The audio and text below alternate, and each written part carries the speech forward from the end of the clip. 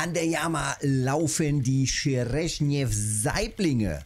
Ich habe erst einen kleinen gefunden. Es ist auch super tricky, die überhaupt zu bekommen. Aber nebenbei laufen ja auch noch andere Kandidaten.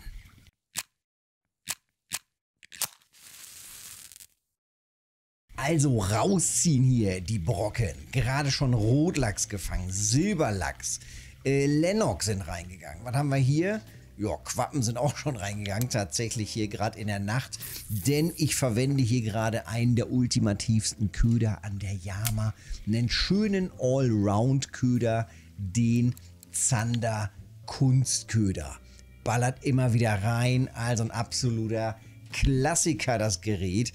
Ähm, ja, weil er eben auch so vieles triggert. Also es geht einiges, zack, immer mal wieder rein. Man kann das Ding unterschiedlich führen, auswerfen, langsam durchleiern, auswerfen mit Jig-Führung, Stop and Go und so weiter und so weiter. Ganz langsames Jig funktioniert ja auch immer richtig gut. Das mache ich jetzt gerade. Das heißt äh, Einholgeschwindigkeit 50, manchmal auch 50 plus Shift und dann trotzdem mit langen Pausen, also lange abtreiben lassen zwischen dem Jig.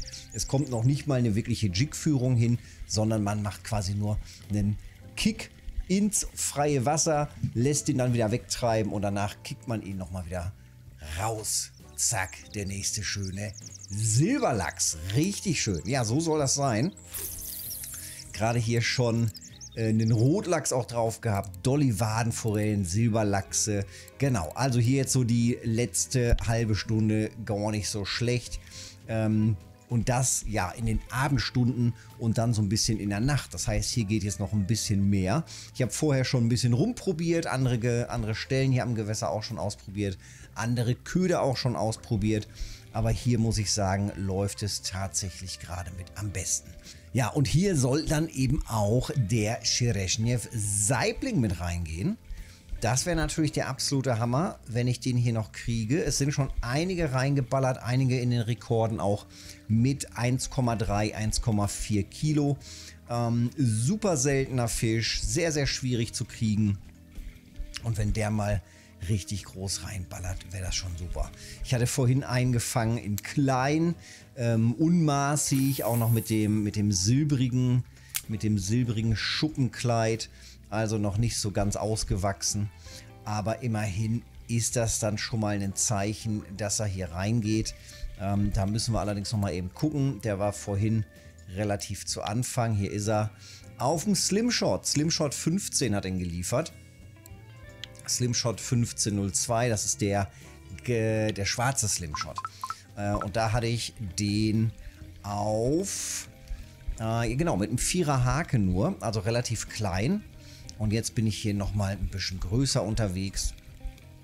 Und das Ganze lübt doch auch schon wieder ganz gut hier weiter. So, was haben wir hier? Jo, die kleinen Silbernen. Die Silbernen waren bisher noch gar nicht so viel. Also so ein paar sind reingegangen. Zack. Und ich wollte es gerade sagen, eher ganz weit draußen. Das heißt also wirklich ganz am obersten Rand, wirklich so hier in diesem Bereich ähm, wenn man hier weiter runterkommt oder nicht so ganz weit auswirft, da waren die dann seltener. Also richtig, richtig weit ausgeworfen, fast bis ans andere Ufer rüber. Und dann ballern da auch die guten Brocken rein. Sollte ja mit diesem schweren Köder hier eigentlich kein Problem sein. Ähm, gewichtsmäßig sollte man das Ding, glaube ich, hier mit jeder vernünftigen, zack, da ist er, der Silberlachs mit jeder vernünftigen äh, Route gut auswerfen können. Wenn ihr euch dann noch unsicher seid oder wenn ihr relativ neu seid hier an dem Gewässer oder auch vom Level noch nicht so hoch seid, Yama Starter Set, ich verlinke das nochmal. Absolute Empfehlung. Übrigens auch für alle, die noch gar nicht so weit sind. Dieses Yama Starter Set kann man sich schon im Mid-Level ganz gut holen, also Level 20 plus. Da macht das schon Sinn, sich dieses Setup zu holen und das dann bis hierhin immer noch kontinuierlich verwenden. Also es ist einfach eine, eine Rolle und eine Route, die man eben äh, sowohl am Kuori als auch am Voltjow oder oder oder immer wieder gut verwenden kann. So, und weiter geht's. Ja, ich baller hier nochmal ein bisschen weiter raus. Im Großen und Ganzen ist es das ja eigentlich schon. Ähm, es ist gut durchwachsen. Ähm, es gehen natürlich auch zwischendurch immer mal wieder Lennox rein, je nachdem, aber da war auch viel äh, Ködertesterei mit dabei. Es gehen, äh, wie gesagt, die Lennox mit rein, die äh, Keterlachse, ja, äh, sind natürlich auch je nach Köder mit dabei. Dolly Waden aber auch. Ähm, ganz vernünftige Größen auch. Hier auf dem Type 1 12 Gramm, diese ganzen 12 Gramm äh, Blinker, die funktionieren da auch richtig gut.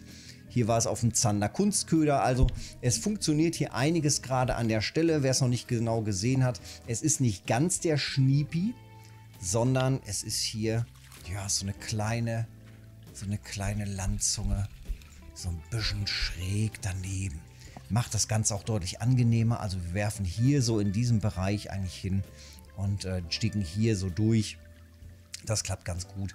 Und äh, wenn man hier steht, klar, klappt auch super. Da greift man dann ja eher hier an diesen Kanten entlang. Ähm, hier können die aber auch noch eher abhauen. Und hier, wenn man hier in dem Bereich ist und was Größeres geht rein, können die schön nach hier hinten wegfliehen und man kann den Fisch schön müde drillen. Also, so viel dazu. Habe ich das Setup schon gezeigt. Im Großen und Ganzen ähm, ja, bin ich hier natürlich wieder übertrieben unterwegs. Hier reicht ein deutlich kleineres Setup, denn ich bin auch nur mit 12 Kilo äh, Fluoro-Only-Schnur unterwegs, ohne Vorfach, einfach nur Fluorocarbon, 12,3 Kilo, wenn euch das zu tricky ist. Ähm, 12 Kilo Vorfach und dann Fluorocarbon 12 Kilo Vorfach einfach verwenden und dann eine geflochtene Schnur. Dann hat man noch deutlich mehr Schnur hier drauf auf der Rolle und dann lübt das schon. Also rausziehen, ihr Lümmels. Ab an eine Yama, mal so zwischendurch zum Entspannen. Mal was anderes als immer nur Salzwasser angeln. Petri, wenn es geholfen hat, Daumen da lassen, hilft mir mega. Kanal abonnieren hilft noch viel mehr. Zieht raus die Brocken. Guck mal, hier geht auch noch mal direkt hier vorne einer rein.